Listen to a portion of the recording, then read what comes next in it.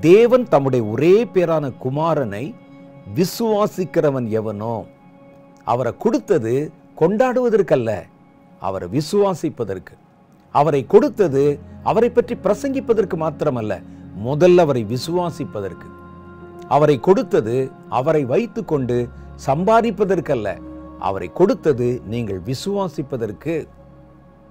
அவர் ஏன் கொடுக்கப்பட்டார்? நோக்கம் நமக்கு தெரியணும் இல்லை அந்த நோக்கத்தில் என்ன சொல்லுகிறதுனா நீங்கள் விசுவாசிப்பதற்காகத்தான் கொடுக்கப்பட்டார். அவர் ஒருவரிடத்தில் தான் ஜீவன் இருக்கிறது. அவர் ஒருவரிடத்தில் தான் சத்தியம் இருக்கிறது. அவர் ஒருவர்தான் பிதாவிடத்தில் போகிற வழியை நமக்கு காட்டும் அதிகாரத்தை கொண்டிருக்கிறார். கிறிஸ்து எதற்காக கொடுக்கப்பட்டார்?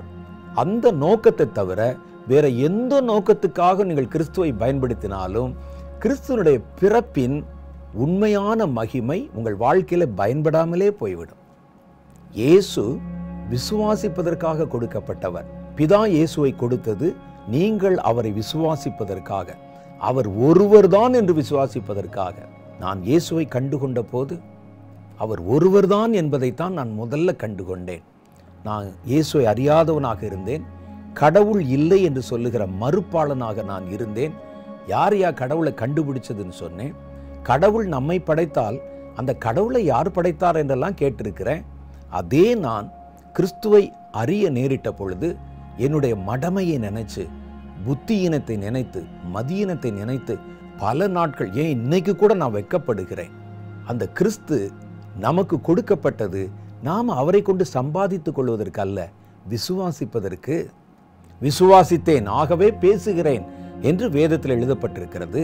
நீங்கள் முதல்ல அவரை விசுவாசிக்கணும். அவரும் ஒருவர் என்று விசுவாசிக்கூடாது அவர்தான் என்று விசுவாசிக்கணும். அதான் விசுவாசம். அவரே வழி அவரே சத்தியம் அவரே ஜீவன். அவர் எதற்கு கொடுக்கப்பட்டார்? அவர் விசுவாசிப்பதற்காக கொடுக்கப்பட்டார். அவரை விசுவாசிப்பவனுக்கு என்ன நடக்கும்? ஏன் அவரை அவர்கள் விசுவாசிக்க வேண்டும்? இவர்கள் விசுவாசிப்பதன் மூலமாகத்தான் கெட்டு போகாமல் இருக்க முடியும். ஏன்னா இவங்க இந்த உலகத்துக்குள்ளே வந்துட்டாங்க.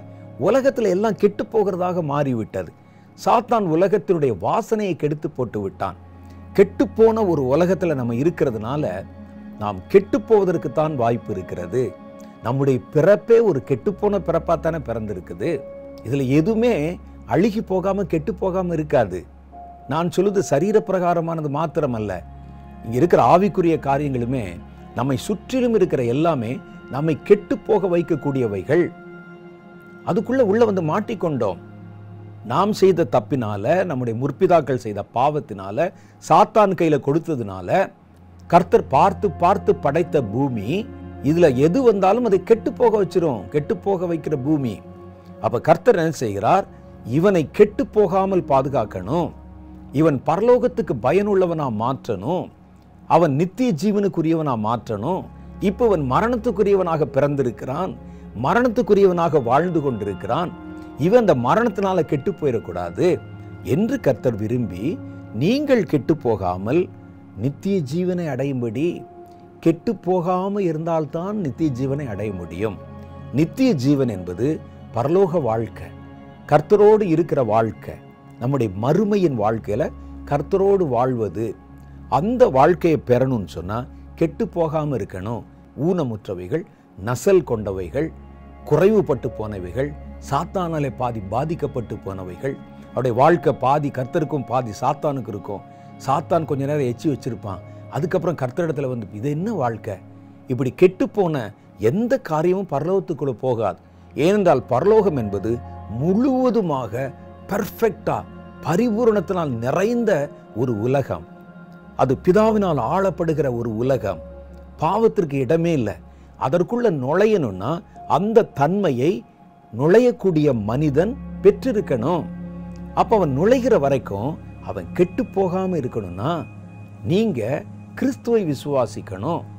நீங்கள் வேறு எதை விசுவாசிப்பதினாலும் நீங்கள் இந்த கெட்டு போவதிலிருந்து உங்களை பாதுகாத்து கொள்ளவே முடியாது.